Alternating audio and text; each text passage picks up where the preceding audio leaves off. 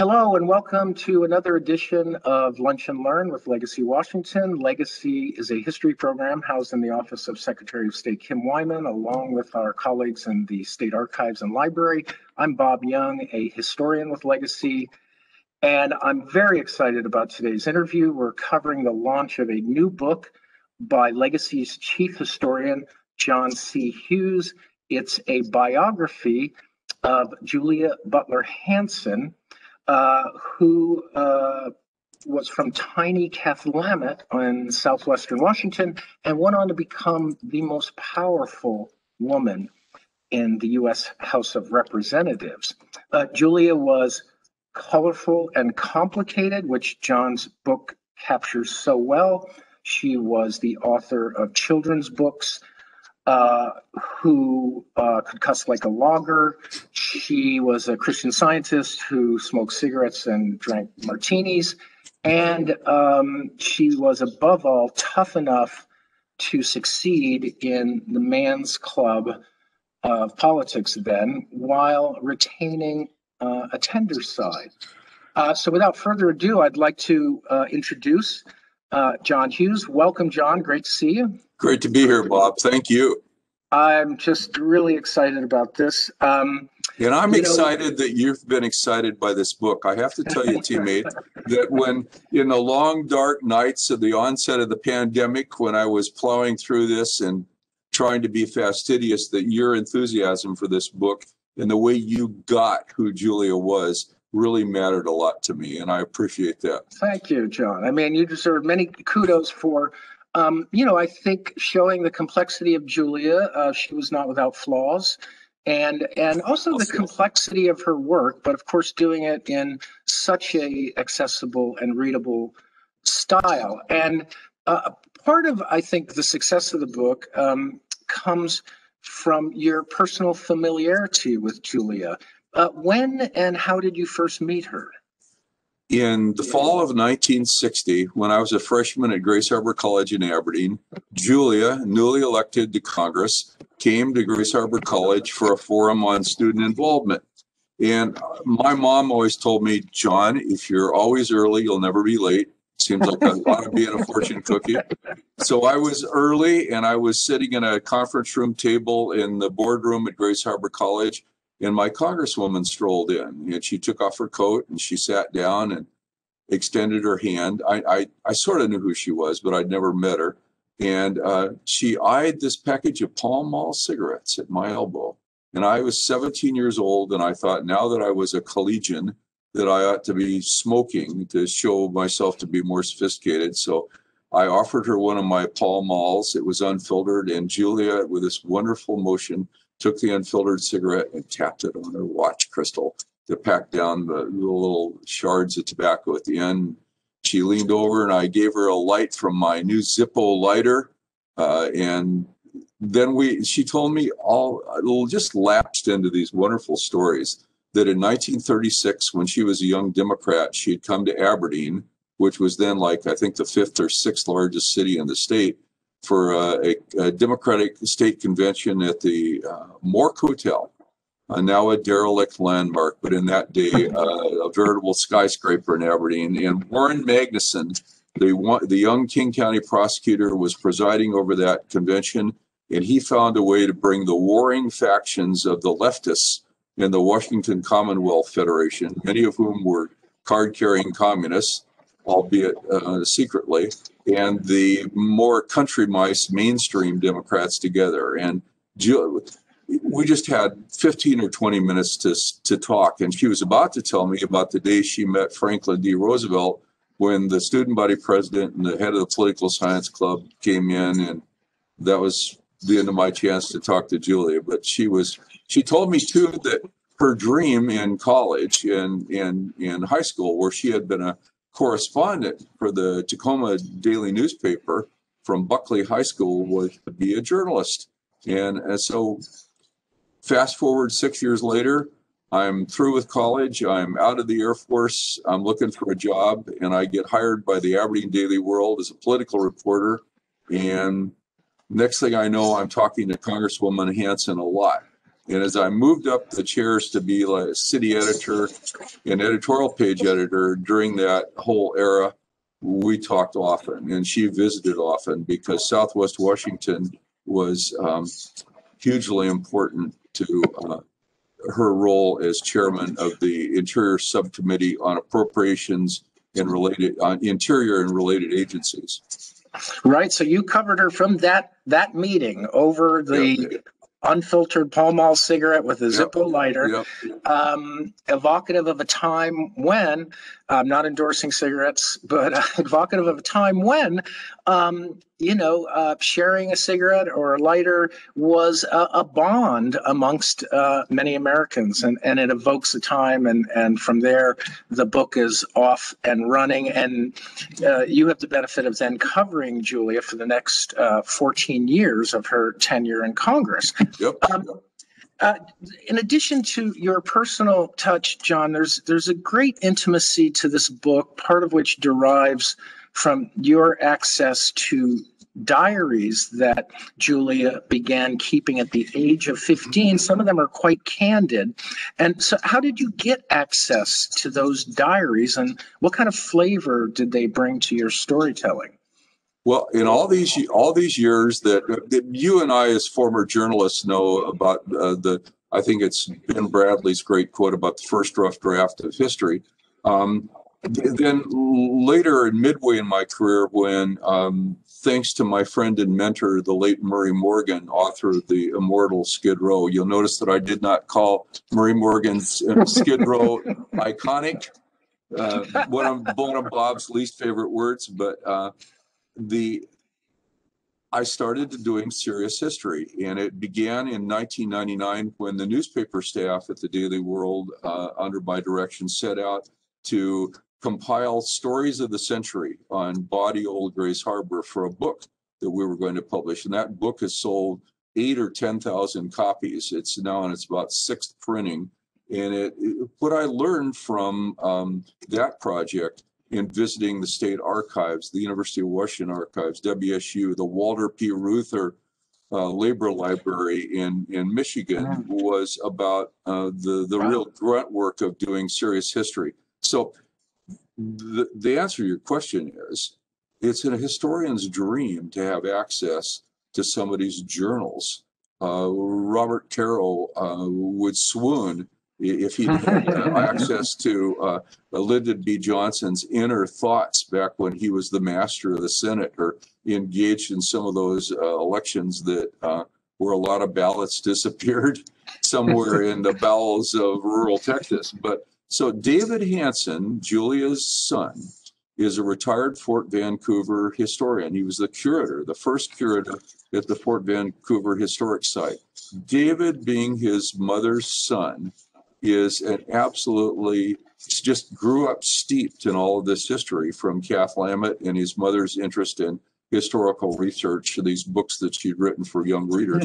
And Julia, to her great credit, even though she'd had mixed emotions at times, never destroyed her diaries. And we'll, and we'll get to a little bit later, there was a time when she wondered, should I burn it? Should I save it for posterity? So when I went to see David for the first time and said, I'm going to do this book. I wanted to do this book for about 40 years. And he forked over the diaries. And there were not only Julia's diaries beginning at age 15, journals, she called them sometimes, diaries other times, but Maud Kimball Butler, her mother's diaries. Hmm. Uh, and so I talk about original source materials. I mean, and she confided things to these diaries that are, they're, they're alternately charming and heartbreaking. Uh, for example, her miscarriage after her first pregnancy, shortly after she was first married, and the the pain of that uh, miscarriage in the 1940s and the convalescence and the uh, what seems to me to be postpartum depression over the loss of that child. She confided all of this. It was just marvelous. There's, uh, but it starting early on in her high school and college days. There's one uh, one of these we talked earlier about um, what would be my most favorite passage, and that's hard because there's so many. But there's this one from January 17th, 1926. And uh, and this is Julia. She said, just between you and me, diary, I do wish some of the boys on this campus, that was Oregon State Agricultural College, now OSU, I do wish some of the boys on this campus would call up once in a while. And since this is just for us, I wish I liked the house better. That was the Daughters of the American Revolution house. And I wish I could write for publication. I just love to write stories, and yet I'm scared. Shall I say that? To really sit down and plot out and write a story. Oh, I do. I wish I were. I do wish I were a better Christian scientist. There, you alluded to that earlier. Julia was a one on one hand a prayerful Christian scientist, and on the other hand, as David puts it well, so well, you're not supposed to smoke, drink, and cuss, which she did, did with great abandon and authenticity. Some some people um, who learn to cuss early on or mimic, it sounds affected, but Julia cussed. She was a good cusser. Uh, and there's, there's Julia again. But I guess we all start humbly, and our Maker really will rescue us, perfect or not, and help us. For God is a loving Father and forgiveth all. Now it gets good. Now, diary, this is just for us.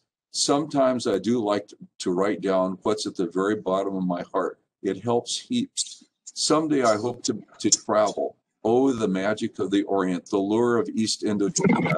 Singapore in a green jaded light as its mystic, mystic evening sets in. Its atmosphere, oriental, ancient, cruel, almost enshrouds me. I see the sensual, full lipped women slinking low in the dives of sailors, a Carmen in her dark glory.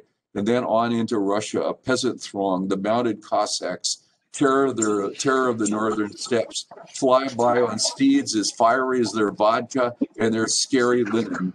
For all the modernism has not displaced the age-old customs. Europe, half Western, half Eastern, modern, oh so modern in its post-war frenzy to forget the four awful years made up of terror-stricken days.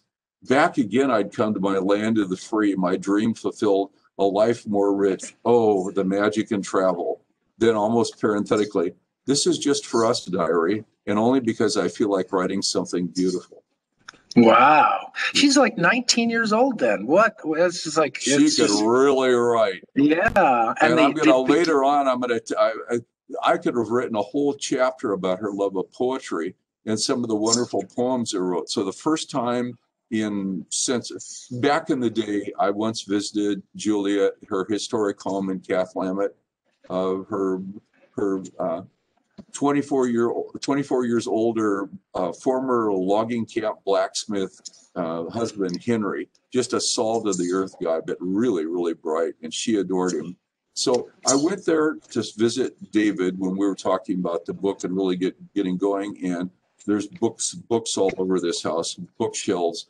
And in julia's office I pulled down a volume of Walt Whitman poems. And of all the things I studied as an English major at the University of Puget Sound, I loved Walt Whitman. And when I opened the book, it was bookmarked with a little fly leaf like a, a note paper from the office of Julia Butler Hansen. And it was bookmarked at one of Whitman's greatest poems. Hmm. When lilacs last in the dooryard bloomed, and the great star early drooped in the western sky in the night, I mourned and yet shall mourn with ever returning spring. I just wow. about I just about swooned when I read that. and listen listen to what she wrote in 1939 when she's falling in love with Henry. He's this gentle, calloused hand, uh, old blacksmith guy who could fix anything. Um, could lift could lift a 300 pound yeah, animal. Yeah, yeah. Listen, listen, listen to what she wrote. Emily Dickinson would have been proud to have had her byline on, the, on this stanza. Slim fingers of a finer craftsman than I drew the lines of a woman's life and designed her way with cunning eyes. True. That wow. that's good writing. Yeah. Wow, that's something. So um uh Julia was born, one could say, a, a feminist in 1907 uh, or at least, uh, I, as I said, she uh, was born with a suffragist blood. Um, how did her mother, who was a trailblazing woman in her own right, uh, most influence Julia? Well, Maud Kimball Butler, Julia's mother, um, born in Cathlamet, uh, no, I misspoke, born in Portland and then arrived in Ta- Cathlamet with her parents as a child. Maud Kimball Butler was a uh, elected Wahkiakum County Superintendent of Schools at the age of 23. Um, it, it- that was 1903, if I recall. Historian should remember. I think it was in 1903. And the galling thing was for the, the women of Washington Territory, as we've written in our in the book that I'm so proud of co-written with you called Ahead of the Curve about the, these suffragists at the turn of the century and the latter day women uh, who, who are carrying the torch forward for equal rights. Anna Mary Kalisay, um, my gosh, Stephanie Kuntz, former Governor Gregoire, who pushed through the comparable worth settlement that you wrote about so so eloquently. Anyway, Maud Kimball Butler was um, a pistol, and her mother, Julia's namesake, Julia Ann Blood Kimball, was uh, had really bristled in the 1880s. That uh, she said on one occasion. Uh, in something Julia wrote in her diary, that her grandmother was greatly incensed that guys uh, at the political hall were being plied with booze to go down and vote, cast their votes, sort of a Tammany Hall kind of ward healer kind of thing. And here she was, an educated woman from patriot stock, colonial stock, bona fide daughters of the American Revol- Revolution stock. She was barred from voting by all this jujitsu that we've written about that the courts and the legislature ha- had done. So uh, Julia came by that. And by the way, her mother and her grandmother, like most people in Washington State, women, men alike, this was a Republican state until the coming of the New Deal. And uh, so Julia, in one of her little declarations of independence, uh, angered her grandmother uh, in uh, 1912 by uh, had a little fistful of Woodrow Wilson uh, flyers that she was taking around the neighborhood that sort of scandalized her, her grandma. So she she So, had she you're right. She's a feminist stock. How did how did Maud, do you think, uh, influence Julia most? Well, there's this. Um, she influenced Julia with her her um, her intellect, her kindness, and her activism. Julia um, lost her her grandmother, her father, and her kid brother in the space of about 18 months. Um, Hmm. grandmother um, died of multiple causes, uh, heart failure and the like. The uh, father died of diabetes, and the little brother was uh, run over in the first uh, traffic fatality in Wak- Wahkiakum County history. I believe uh, Donald was six years old, and there was a, a real uh, family tragedy. The little boy had dashed across the street when the bread wagon arrived uh, to pick up some loaves of bread for his mom. And just then, around the corner came a family friend, a, a young teenager uh, from the Domit family, Dumits and Domits of Cathlamet. And the boy darted out in front of the Domit uh, general store delivery truck and was fatally injured. So Julia always said that she she never knew anyone who pushed ahead with more pluck and perseverance and goodwill than her mother. And her mother's example, widowed, Hmm. uh, the, the matriarch is gone, losing a son.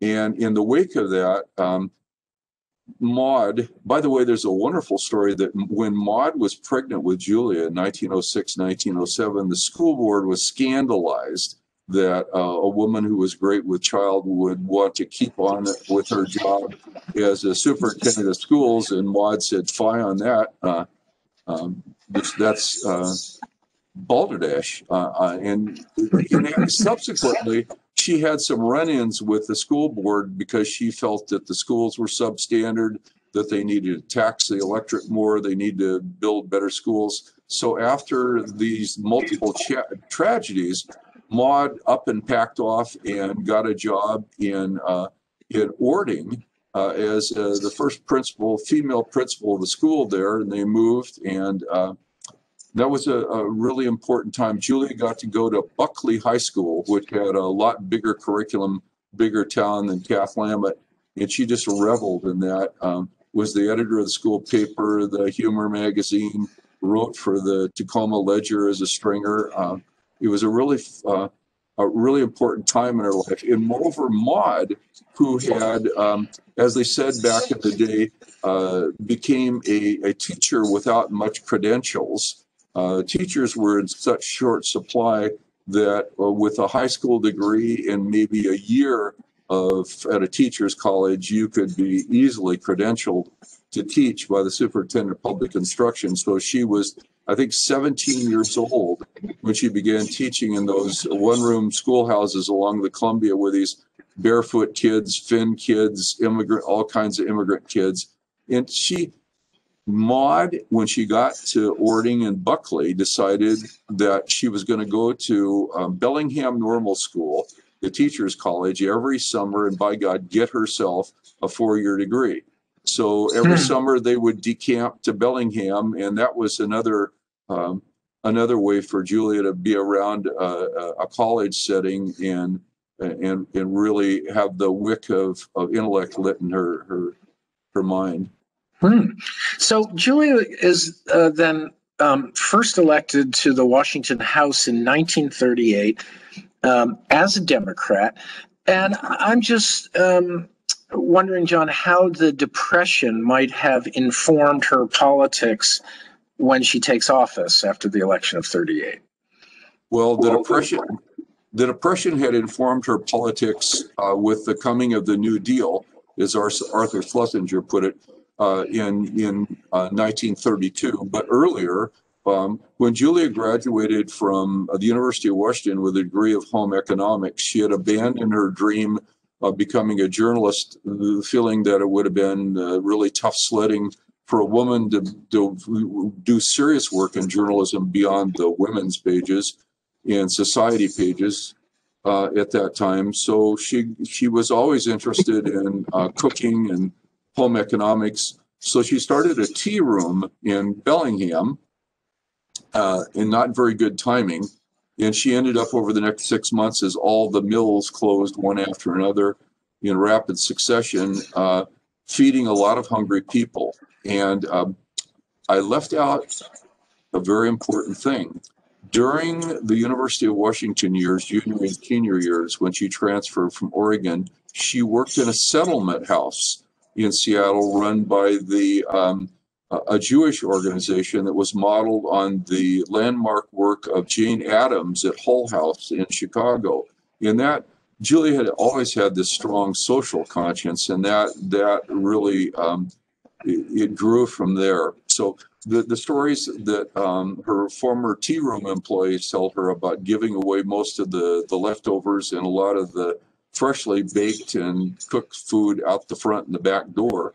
So she comes back home to Cathlamet, and by then um, she had been really active in the Young Democrats. She had, as she put it, finally converted mother to becoming a Democrat. Mother had lost all the glitter had gone off poor Herbert Hoover. It was at the time, one of my great, one of the great quotes I read about Hoover when I was doing the research was that in 1931, it was said that a rose in his hand would have wilted. I just love that. But Wow. she comes home to Cathlamet. She's a young Democrat. She runs for the town council. 1934, there's this really, uh, talk about her dream of writing for publication. Julia's uh, young adult novel called Singing Paddles about uh, a family's trek on the Oregon Trail to Cathlamet and a stop at the Whitman ma- Mansion with Marcus Whitman uh, and all that, based on all this pioneer lore that she'd uh, she'd absorbed from growing up in Cathlamet. It won the equivalent of uh, a Caldecott Award uh, for children's literature in 1934 and she got uh, five hundred dollars. And if, Wow. if memory serves, that on the inflation calculator, that extrapolates to about three thousand dollars. So that tided her over. She runs for. She's a young Democrat. Quickly becomes vice president of Young Democrats statewide. Meets Jackson and Magnuson and uh, a whole host of other young Democrats. idolizes Frances Perkins, the first female Mhm. cabinet member in Roosevelt's cabinet, starts corresponding with For- Frances Perkins and um, runs for the, the town council. Uh, 1938, she runs for the legislature and she wins decisively. Um, the, it, it, it was quite a campaign. And I That- thi- believe at that time there were six women in the Washington legislature. Yeah, and how did how did Julia f- fare in that pale males club um, with the discrimination um, that she did face, um, and so challenging, and as is it remains probably today for a woman in that position. If she's too strong, then tell us about that, Sean. Well, Julia had this quality of being a man's woman and a woman's woman. Mm, She, um, in some respects, she was a shapeshifter because um, by hanging around with all the loggers and the, the longshoremen and old characters she met along the wharves of Cathlamet and places like Skamokawa and Astoria, uh, during uh, the, the she her one of her first jobs uh, on the town council was to be in public works and then later she went to work in the county engineer's office and by 1938 the guys on the road crews in in Wahkiakum pretty much figured that she could run a road grader if they'd let her try for all I know she did but she really could be this woman who on the one hand could go to a Daughters of the American Revolution meeting with a corsage and pour tea and be very decorous. And on the other hand, as you noted, and I heard firsthand, she could cuss like a sailor. And it wasn't one of those put on things like you hear some dilettante kid or some person trying to sound like they're raw edge, tough. Julia could talk. Julia could cuss and the uh, so when she would sit down uh, in the the the chief clerk of the Washington House was a very wily character who took a liking to Julie immediately, and they were smoke break buddies.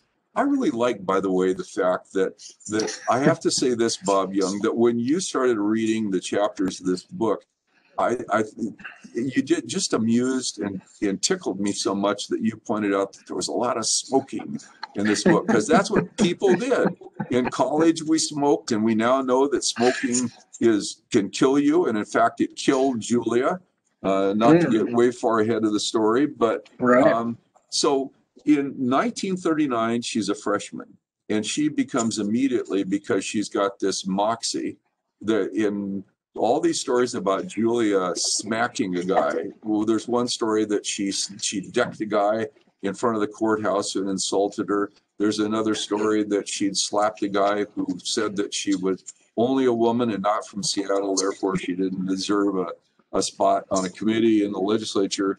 But in 1939, she scored this amazing bipartisan triumph for women, not to mention a freshman legislator with all eight female legislators, eight there were, and the Secretary of State, Belle Reeves, who deserves a book of her own. She was just a overworked phrase is force of nature. Well, Bill was the real deal. This tiny woman, newspaper woman, no less.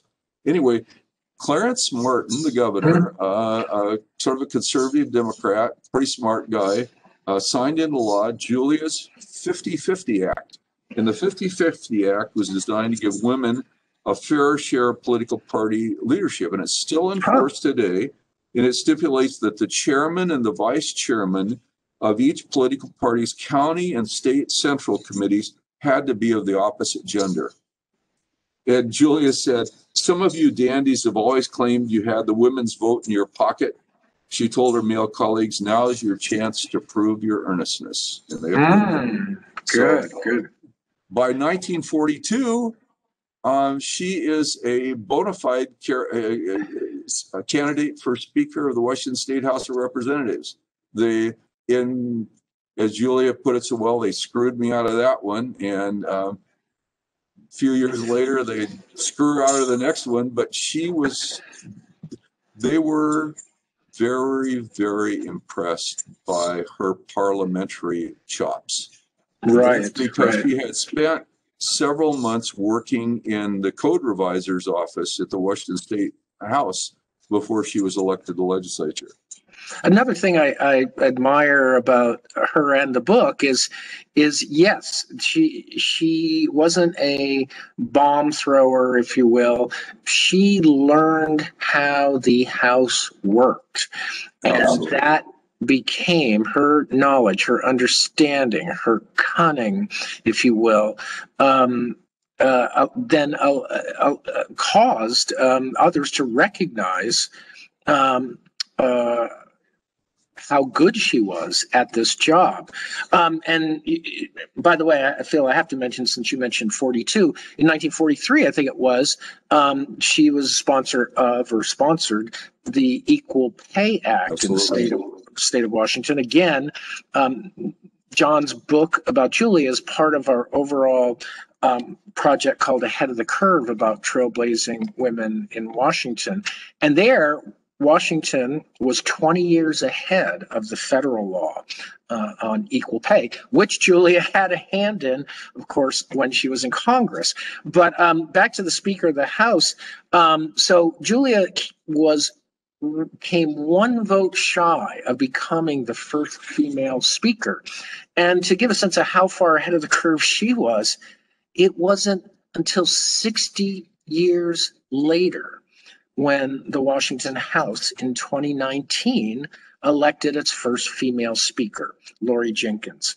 And I was just wondering, John, if um, discrimination you think played a part, or sexism played a part in Julia's coming one vote shy of becoming that speaker. Uh, Thanks for reminding me that uh, when I uh, had a chat with Speaker Jenkins uh, at the rollout for uh, Ahead of the Curve, I mentioned to her that Julia was upcoming and she confessed that she had not heard of Julia Butler Hansen. So I need to make Wow. certain that, that the first female Speaker of the House of Representatives has a copy of the book. The in 1955, by 1955, Julia had been um, wooed repeatedly to run for Congress by uh, Senators Jackson and Magnuson, um, the Speaker of the United States House of Representatives, uh, and also had, by dint of her knowledge of highway planning, at the dawn of the Eisenhower era of interstate highways. Another thing that's impresses me about um, your scholarship, Bob, is that lately and during uh, my research for this book, we we both developed a new appreciation for Dwight D. Eisenhower's prescience. First, as a young uh, tank officer during the First World War, that and then as Supreme Allied Commander in Europe, uh, to see what the autobahns, Hitler's vaunted autobahns, could do for for transportation, um, both militarily and civilian. So uh, fast forward to 1955, Julia is now the chairman of the Washington State House of Representatives uh, Committee on Roads and Bridges, chairman of the Joint Interim Committee on Highways, Roads, and Bridges, chairwoman of the 11 Western Interstate Highway Planning Commission, uh, hailed in the New York Times and the Los Angeles Times as the most form as one of the most formidable experts on highway planning in America, uh, going to White House meetings uh, all over. 1955, she stands for election to uh, as Speaker of the House. Um, John O'Brien, uh, her her friend and uh, colleague in the House, um, they arrived in in the legislature about the same time. Uh, John was a very very skilled politician from uh, I think the Rainier Valley in Seattle, a, a classic Irish pol, although absent the glad-handed aspects of that. John desperately wanted to be Speaker of the House, uh, and as did Julia, and they had sort of a gentleman, gentlewoman's agreement that they were going to go full bore for it. Um, John's lieutenants that he enlisted, including the formidable uh, August P. Mardesich, Augie Mardesich of Everett, uh, a, uh Croatian fisherman with brilliant legislative skills, Slade Gorton uh, maintained that that that Augie Mardesich was the smartest guy and most tactical guy he'd run into in, in terms of studying legislation. Anyway, O'Brien's lieutenants out outmaneuvered Julia's, and um, so she lost by one vote. And the uh, the issue, whether it's sexism or fear, at a combination of the both, Mm. I think it was sexist that that that that most of those men w- wanted um, a male speaker. Thought for all of Julia's formidableness that that she could settle for second second place speaker pro tem, or maybe their time would come. That moreover, that the, the other aspect here is the the Seattle orbit in the Mm. legislature versus what Julia and my friend uh, Lynn Kessler, a former uh, House ma- ma- Majority Leader, called the country mice versus the city mice. So the, there's a triangulation there of sexism, uh, the Seattle axis, and um, and fear. Uh, Mm. Dean Foster, uh, who went on to become Booth Gardner's chief of staff and uh, chief clerk, was a teenage intern in the legislature around those that time, and he told me that one day he was in the Senate, and they and Julia came over from a visit from the House, and they sort of ushered her down the center aisle, going back and forth, dispensing people greetings, and uh, some of the guys were bowing and making elaborate gestures, and others Oh. were laughing. And one old pol turned to Foster and said, "This isn't funny. this isn't funny. This you may think this is a joke, but they're scared spitless of her because she's got Oh. all this power." And so, Wow. by the way, after she loses, the there she's elected unanimously Speaker pro tem, and she goes to Mardesich and some of the other guys who come up to her sort of sheepishly and say, "No hard feelings, Julia. Oh, can't we get along?" And she said she sticks out her hand, and says, "No hard feelings, but I'll give get even with you sons of bitches."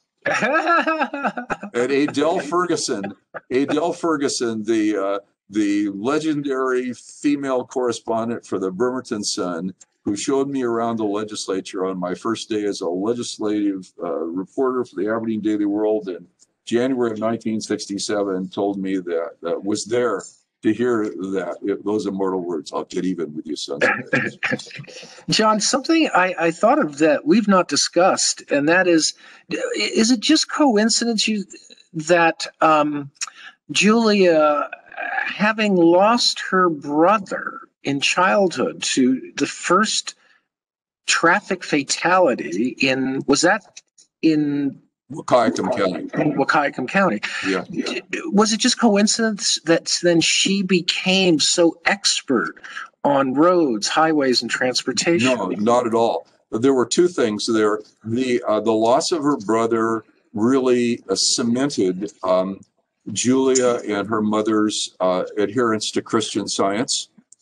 Um, the Mary Baker Eddy's um, uh, writings, of course, talk about Christ as a healer and uh, and to eschew. Uh, and I, I'm not familiar with practices today, but but to rely more on the faith uh, to be healed rather than conventional um, medicine. Uh, Julia became, notwithstanding her uh, cussing, swearing, and drinking, became a very prayerful Christian scientist. Um, Maud even more so, and they both they they Julia's interest in highways did in highway safety. In highway safety, um, I'm really glad you asked that question because I believe now that if I had it to do over again, I would have spent uh, a few more paragraphs talking about the, the traffic safety innovations that she uh, promulgated legislatively uh, in the 1950s um, in terms of uh, street sign standardization, uh, traffic safety education in the schools, driver education. And yes, the, the answer is very much so that the loss of Donald Butler um, played a, a key role in her concern about highway safety. Also, interestingly, in her interstate highway work, um, there was a, a really great, great quote from Julia at one meeting where they were talking about someone was saying, well, don't we have states' rights? Why do we need to standardize um, all these signs and things? Isn't that kind of meddlesome? And and she pointed out that uh, a, a truck crossing a border doesn't know the difference between an Oregon highway and a Washington highway. And if uh, if the signs are uniform, it adds to comprehension and can prevent accidents. Mhm. Um, so let's move, John. We could, boy, we could spend a lot of time on Julia Butler Hansen. Let's move to um, Julia's uh, election to the United States House of Representatives um, in 1960. And and another thing I, I, I admire about your book is again you don't shy away from the complexity of this business. Um, can you give us uh, the audience a sense of what it meant for Julia to be one of the 13 so-called cardinals in the House? Uh, of representatives. Why were they called cardinals, and and what power did they wield? They were called cardinals because, like the College of Cardinals in the in in the Vatican, they wielded enormous power.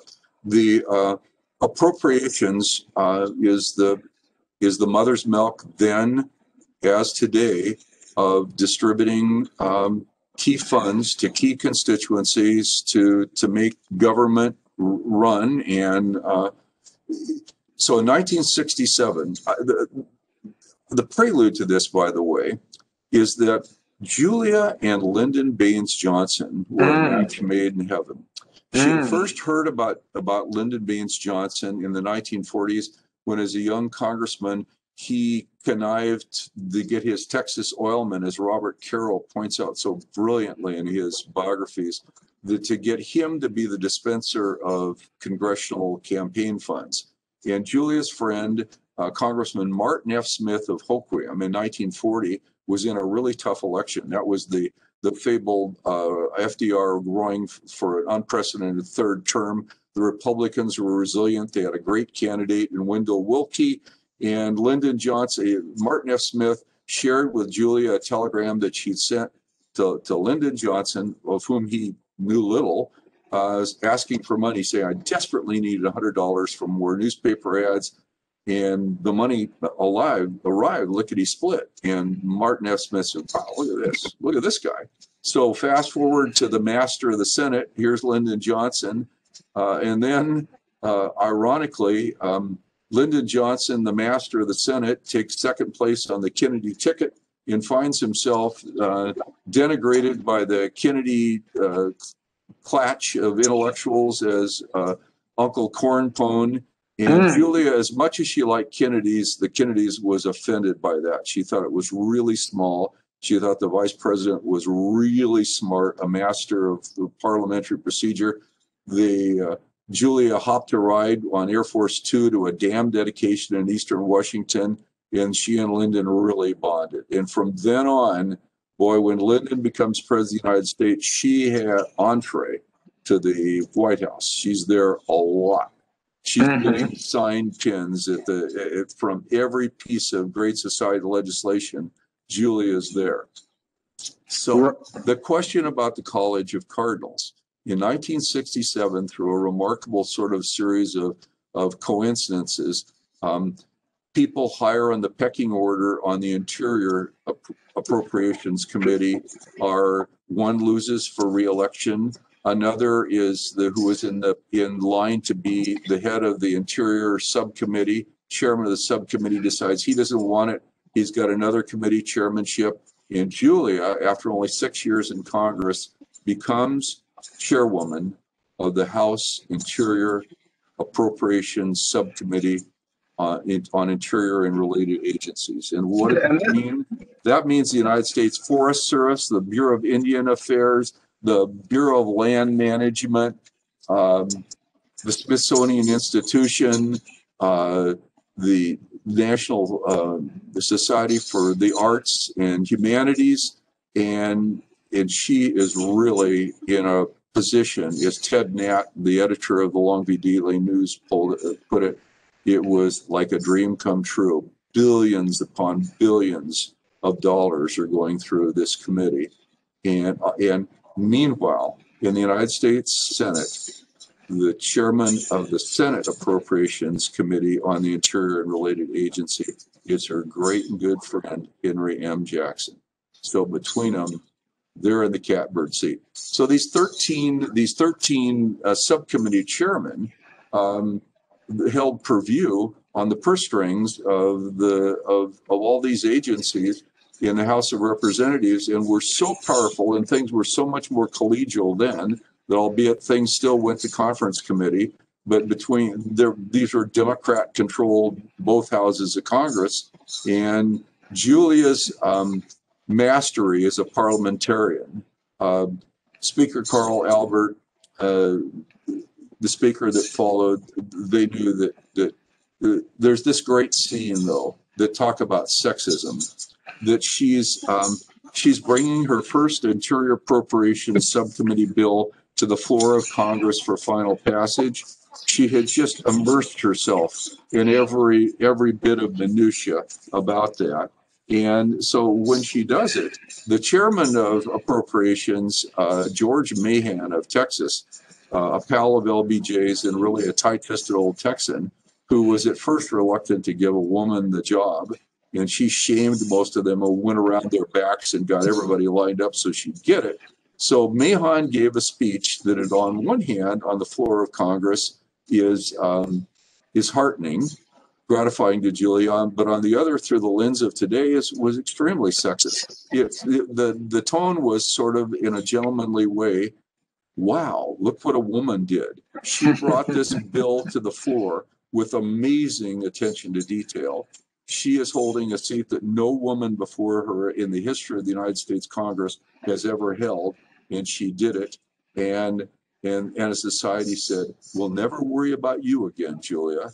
And so Julia graciously accepted all that and and got a standing ovation, and they passed her bill uh, with 13 dissenting votes. And from then on, nobody screwed with Julia Butler Hansen in the Department of the Interior. Um, uh, one example of the clout that came with being one of the Cardinals, one of the people who was most in control of the federal government purse strings and the disbursement of that federal money was her work on behalf of Indian tribes. Um, why was um, she uh, so seemingly dedicated to helping the tribes, John? Uh, she in Cathlamet as a girl, there were um, and as a county seat of Wahkiakum County and sort of being uh, that stopping off spot, the Columbia River, there, first of all, it was an old Indian settlement. And before the white man came with all these gifts, including smallpox and other infectious diseases for which the indigenous peoples had no antidote, um, there were a lot of old Indians around there. And the, the grandmother, remember, the grandmother came west in the 1870s. And and Cathlamet was a Hudson's Bay trading post started by a former Hudson's Bay uh, agent. And so she grew up just steeped in this indigenous lore. There, the um, the matriarch uh, in the of the Birnie family was part Native American, and she had this the stories are are legendary about she had once a year she'd set off for Willapa Bay in this huge canoe with like 10 or 12 paddlers and they'd go off and pick can- cranberries and dig clams and come back. So julia grew up listening to all that and that was what propelled her interest in singing paddles. Um, so when she uh, all along the way the the she was interested in the legislature in the plight of the tribes, in particular of the Quinault Indian Nation, which in the 1950s was realizing that the Bureau of Indian Affairs had done uh, malpractice is too good a word for what they had allowed to happen on the Quinault Reservation. They had the Bureau of Indian Affairs in a in a reckless uh, disregard for the environment had allowed contract loggers to leave acres and acres upon slash logging debris clogging streams and rivers uh, to the real mm. detriment of the habitat in so many ways. Julia was incensed by that, um, came to the Quinault Nation, early in her uh, tenure in Congress and made the acquaintance of a remarkable character that I knew well, well named Jim Jughead Jackson. And ja- Jughead Jackson was the uh, the grandson of the hereditary chief, Chief Taholah of the Quinaults, and was a tall, hatchet-faced character who at first could come off as one one writer observed like a rough old logger, but he was a very, very sophisticated operative. And he saw in Julia and her emergence and her empathy for indigenous peoples a real ally in the development of, of self-determination for the Quinaults and and other other uh, Northwest tribes. Um, Jim Jackson famously in the 1960s, uh, when they drew the line on uh, allowing the BIA to let any more of those destructive logging contracts on their land, he turned to his his um, his handpicked and groomed uh, successor, a charismatic guy named Joe Dela Cruz, and said, "It's a time that we let the government know who runs, who owns the Quinault Indian Nation." And Julia was Julie was very sympathetic. Some of her critics have maintained that she didn't do nearly enough. Um, I, if Julie were around today, she might say, probably right. I, but I tried to do all I could. And she absolutely made a huge difference in on many, many reservations. And during the, the, um, the takeover of the Bureau of Indian Affairs in the, the late 60s, early 70s, the, um, she called the one of the leaders of the uh, the emerging Indian self-determination movement, a, a brilliant uh, tactician named Hank Adams, in the middle of uh, negotiations, and uh, and Hank said uh, privately over the phone, she said, "They ought to tear that. They ought to tear that place down."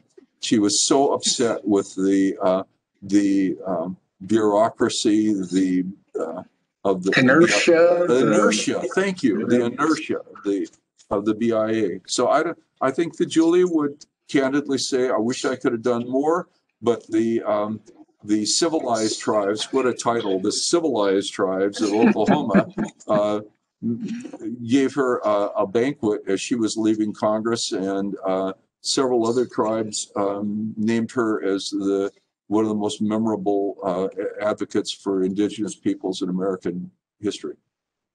Um, uh, and here's Julia, a, a master of um, transportation and, and highways and and um, all kinds of other matters. And a little known um, facet I think about her was that she was uh, described as an angel um, to the arts and uh, there's a great story, I think, in, in your book about um, she just has no, just blindly reaches out and invites the Hollywood movie star Gregory Peck to come to Longview, Washington. And Peck at this point is is just huge. He he is Atticus Finch, you know, from To Kill a Mockingbird. It it I I was thinking it would be like you know George Clooney coming to Longview today, but I think Peck was even bigger than Clooney because Atticus Finch was such a signature character. Um, John, tell us about that um, event and and uh, how it played out. Well, I think it was Pauline Kael whose book, the New Yorker uh, movie critic, who, whose book was called I, I Lost It at the Movies or I Found right, It at the Movies, right, something right. like that. The, well, imagine what it was like to be growing up in a town of 500 people along the Columbia River in the, the 1920s and the, going to the movies uh, and, and then on into the Depression was the, the great. Uh, great entertainment for America, especially the advance of the talkies and Grable and, and Bogart and Gone with the Wind. Julia loved the movies. She loved the arts. Her mother was an extremely accomplished watercolorist, um, gifted watercolorist. Colorist. Julia was, uh, when she became the chairwoman of interior and related agencies and the Smithsonian and the humanities uh, fell under her purview. She um, worked prodigiously to enhance funding in the Great Society for the Arts. And Gregory Peck, whom she adored from 12 o'clock high, that great role as the the bomb bomb group commander during World War II, and then Roman Holiday with Audrey Hepburn, and not to mention Atticus Fisk, Fisk this legendary. Anyway, so she wrote to to. She thought she was going to have a tough race in 1968. She'd done a lot for the arts already. Peck was the president of the Screen Actors Guild. Right. also right, a remarkable humanitarian as a past president of the of the National Cancer Society. Hmm. And she said in this letter, and the other thing, besides the journals, David Hansen has all the correspondence. It's incredible.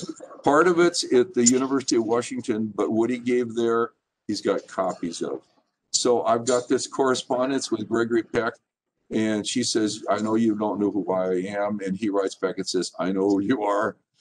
You're an angel. So he arrives at the uh, downtown theater in Longview for this fundraiser that, boy, they're queuing up uh, at 20 bucks a pop, which Julia thought was too much.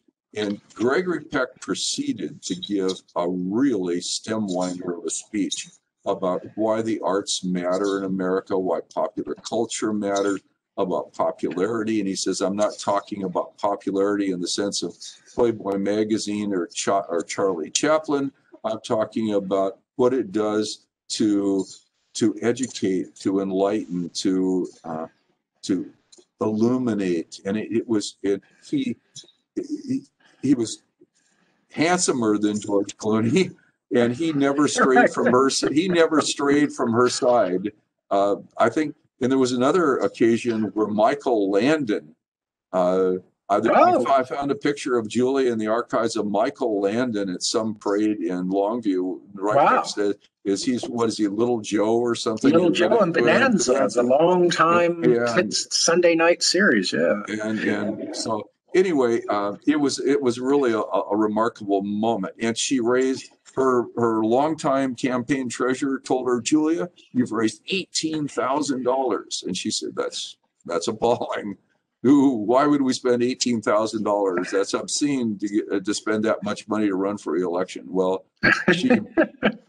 uh, once she was elected to Congress in 1960, she won the um, unexpired term of her late predecessor and the full term. So she had advanced seniority, but her the small her average victory margin between 1960 and 1974 was 62 percent, and that included Lewis County. This is a Democrat who carried Lewis County, the Right. where one wag once described it as being the headquarters of the fallout shelter industry. So it's pretty amazing. Yeah, um, those are all landslides, technically. Uh, you know, every election.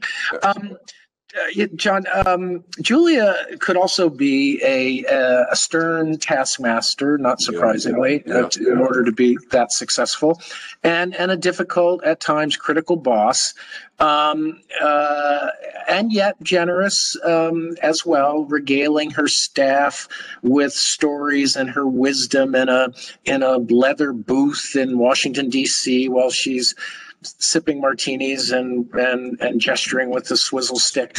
But anyway, um, can you tell us an anecdote or two about what it was like to work for her in Congress? Well, uh, Alan Alan Thompson was her first administrative assistant. Alan went on to become a, a legislator and a, a clerk and a, a, a really terrific storyteller and an all-around great guy. Uh, his son Roland is the represents the newspapers uh, association.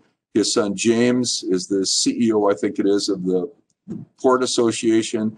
And Alan was the when he met Julia had just bought the Cathlamet, the Wahkiakum County Eagle. And if you were the editor, publisher, owner, and and delivery boy for the Wahkiakum County Eagle, that meant you immediately were in Julia's orbit. And I, if I recall correctly, Alan is a Stanford graduate uh, and was had a career in Southern California as a pretty moxied public relations guy. But like a lot of us who've always dreamed about owning your own weekly newspaper, like James Reston and Tom Wicker did after retirement, that he bought this weekly newspaper and Julia gets elected to Congress and uh, with his help. And so he's her first administrative assistant. And Julia's longtime friend and aide, uh, a very bright and engaging state senator from Pacific County named Bob Bailey. She wanted him to take the job, but he said, I figured that she might get in one of her Miss Muppet moods and I and fire me for being so candid and I'd be stuck back there with my family with no way home. So Thompson is younger and doesn't know all that. And one day he finds out that um, to be Julia Butler Hansen's administrative assistant or anybody worked from Julia meant that if the boss lady worked 16 hour days, then nobody went home till the boss lady went home.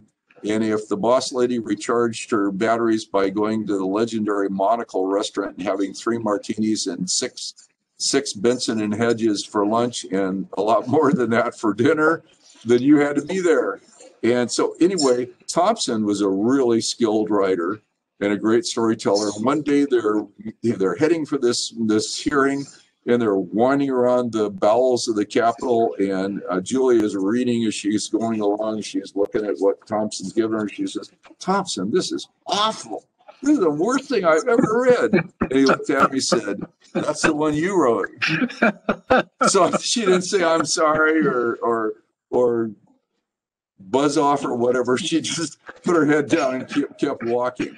So here's this woman who, on the one hand, is this um, could be warm and gracious and but on the other hand whether it was something that she felt the way she had to be to project strength she found it very very difficult to say i'm sorry david hansen tells this story that that that that Julia was strong tempered, uh, quick tempered, and so was he. And one day he's in his high chair and she hands him a bowl of post toasties or whatever, cold cereal, and he expected oatmeal. So he balked at it, and she picks it up and throws it at him, lobs it across the room, and he ducked, and then they both laugh. So she's just, she's uh, there. We'll get to it in a minute uh, uh, when we wrap up, but the, she says something about herself that in the end that really sums up this dichotomy of her personality. Right, right. And when we get to that, there's there's also, I believe, an example uh, related of of she certainly could apologize, and that's what oh, that's one thing I admire about her. Um, you know, if her temper flared, um, she could recognize that. And then she she gave these very kind of heartfelt apologies. Um, and uh, it just makes she's just such a human being in that regard. Uh, i'm going to quickly though um, can i tell you one quick story about that that's analogous to lyndon johnson? Sure. In a, in a PBS special, or I think it was with Bill Moyers, Lyndon Johnson's uh, uh, longtime uh, press secretary, and, uh, and as we know, a brilliant journalist, also a Baptist minister. That Bill Moyers is at the LBJ Ranch one day, and there's a bunch of dignitaries around, and um, and all of a sudden, out of the blue, uh, Moyers arrives on the porch, and Johnson dresses him down in the most profane way. Mm. I mean, blue smoke. I mean, you sound. And so Moyers is just kind of aghast, and he he turns on his heel, heel and slinks off. And about a half hour later, LBJ summons him back to the front porch, and there's all these other guys looking on, maybe Humphrey and visiting dignitaries. And one of the ranch hands pulls up at a brand new station wagon. And and everybody's surveying the scene, and Lyndon has the keys and hands them to Moyer and says, He's done a great job. And and and so then LBJ, he Moyers hears LBJ turn to an aide and say, "Never give a man a present when he's already feeling up." Yeah, that's a good one. That's a good one. Um, I, I just going to quickly um, add two of my favorite little anecdotes um, from your book, and that is that um, one of Julia's aides um, is asked if he has seen the new hit movie um, Patton about the famously hard nosed general. And the aide responds with, I work for her. Uh, he does. And the, the other one is about how kind of hard it could be to escape um, Julia's orbit and her gravitational pull. And there was a, a secretary who just like couldn't keep up anymore with all the work. And and so she concocts a story that she's going to get married as a, a way to to slink out. And um, Julia throws her a, a splendid shower. Um, in fact, there's no boyfriend, not even, never mind a fiance. It was just uh, what the secretary could think of as a way to get out of that orbit. And I loved it. Um, I, John, Somebody else, I heard that, I heard an apocryphal, perhaps apocryphal story that somebody else faked a pregnancy. It sounds like maybe even that's Yeah, yeah, yeah. maybe not that secretary, but another. Um, I want to um, quickly touch on um, the the fact uh, back to Julia's bond with LBJ, these two kind of master parliamentarians, in addition to Moore. Um, so she was actually invited to the White House to hear um, the address by LBJ that became his surprising announcement in early 1968 that he wouldn't seek reelection. Um, Julia had supported um, Johnson, uh, largely supported Johnson in his endeavors in Vietnam. Um, uh, but she had her regrets about that. Um, can you tell us about that? she um, her support for the Vietnam War was um, based on her admiration for Henry M. Jackson, uh, the foremost hawk in the Democratic Senate, and Lyndon Baines Johnson. But when the Gulf of Tonkin resolution, which largely was a device to give uh, the president carte blanche to to pursue to advance the war, I, I think Wayne Morse and I believe Ernest Gruening of Alaska, there were Wayne Morse and one other senator voted against that. And she told David that night, she said, uh, I think they were right. I, I wish that, that I had had that prescience. Um, and she, um, and then later, uh, as things escalated, um, Tip O'Neill, there was a conversation with Tip O'Neill where she had said, and I found this in the Tip O- in a biography of Tip O'Neill that David came across by happenstance. It's funny that do, do, you can you can think that you've done a, a really uh, as encyclopedic as humanly possible job, absent the ability like Robert Caro to spend five or ten years on a book. Neither you nor I have that luxury. But so I set out to read all the books I could find to see what Tom Foley and John O'Brien and Magnuson and Jackson and others. But I, I, I didn't get to Tip O'Neill. And David Hansen found this uh, Tip O'Neill biography that quoted Julia as saying that the Vietnam War, unless we began to cut back, would be the ruination of the Democratic Party. Right. She had had real strong misgivings about that.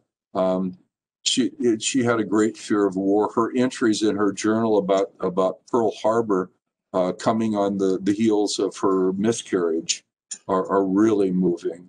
Um, and she, she'd been a child uh, during World War One when her mother was uh, working in uh, as one of the uh, first female, one of the few female administrators for relief work uh, and Red Cross work. So Julie even dressed up during World War One as a, a 10 year old in a Red Cross nurse's uniform and wrote a play about uh, drafting the neighborhood children or brothers to play soldiers and, and onlookers. And uh, so she had really strong feelings about the horrors of war.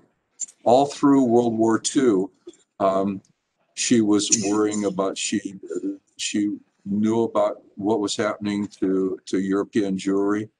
Uh, if not the full flavor of the Holocaust. And and and by the way, she had very strong feelings from her work with that Jewish uh, um, settlement house kind of operation in Seattle about about Israel and about um, the the hideous injustices of the hideous injustice of anti-Semitism. Yeah, and and your book um, really uh, does a good job at, at conveying how in Julia's life, um, you know, she saw World War One. She saw we haven't even talked about the pandemic, but No. she saw World War One. Uh, she saw the rise of fascism, and she was writing eloquently and in this kind of searing language that you've already alluded to about it.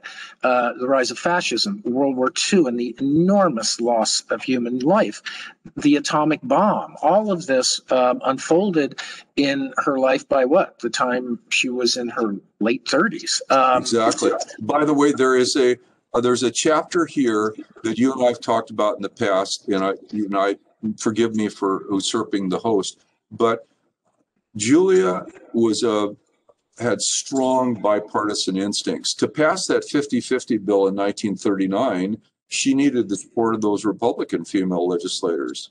And the when she arrived in the Congress, one of the first friends that she made and admire was was Margaret Chase Smith of Maine. And she had first become an admirer of Margaret Chase Smith of Maine in the 1950s when Margaret Chase Smith was one of those who had the the the gumption and the indignation to to call out what Joseph P. McCarthy was doing in his reckless red baiting.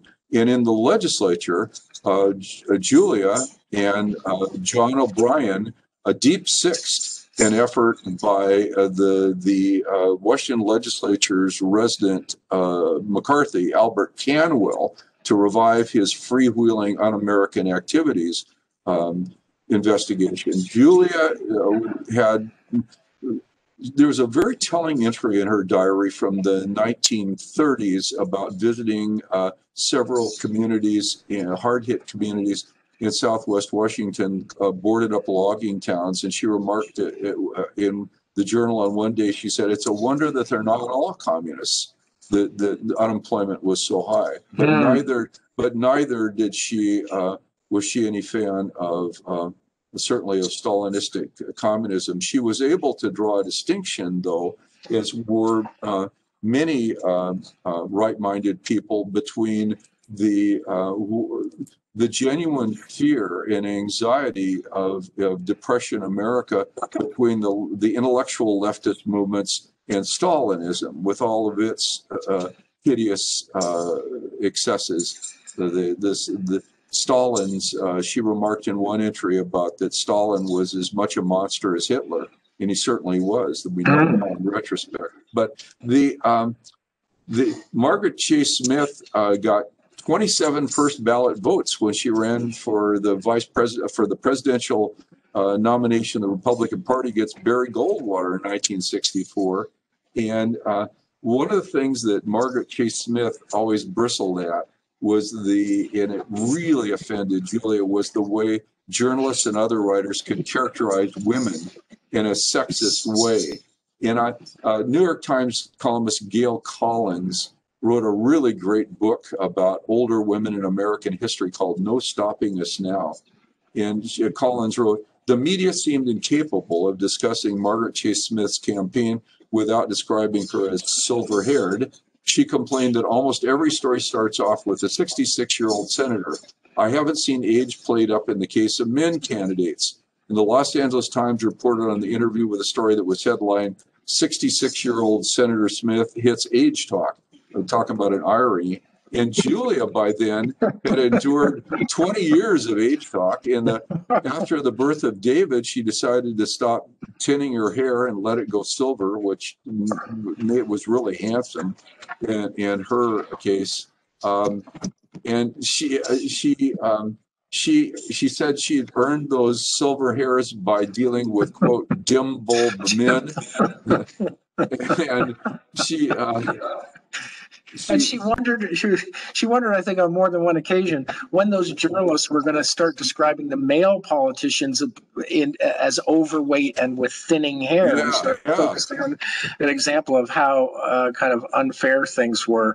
Well, Julia was certainly. Um, uh, you know, a feminist. She might have not had the same style as some of the more flamboyant feminists like Bella Abzug, who, came to Congress um, near the end of Julia's tenure. But you know, without a question, when you look at her accomplishments, the the the equal pay legislation, uh, both at the state and federal level, um, her support for the ERA, um, uh, and other things.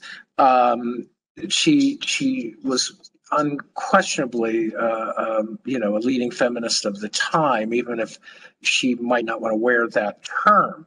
Um, John, I would argue that she remains um, the most influential female in the U.S. House of Representatives from the state of Washington. Would you Oh. dispute that or agree with that? Well, uh, with all due respect to Patty Murray, who has been a very formidable United States Senator, I would say that in the wide reach of Julia's purview as chairman of the uh, subcommittee on interior and related agencies and what she did in this landmark legislation that you just enumerated, the Equal Pay Act, the Equal Rights Amendment, the 50-50 Act, to say nothing, by the way, of what she did for teachers in Washington State in, in the in the 1940s and 50s to get them contractual uh, protections, better pay, better benefits, uh, mandating uh, kindergartens, uh, better busing, safer busing. By the way, uh, so yeah, I think I think we should look at Julia Butler Hansen as our most influential uh, female um, legislator in, in the United States Congress. The yeah, absolutely. And and that leads me simply in the interest of time, we, we could have a whole nother session on Julia and the many things we didn't discuss. But but do, in conclusion, who was Julia Butler Hansen?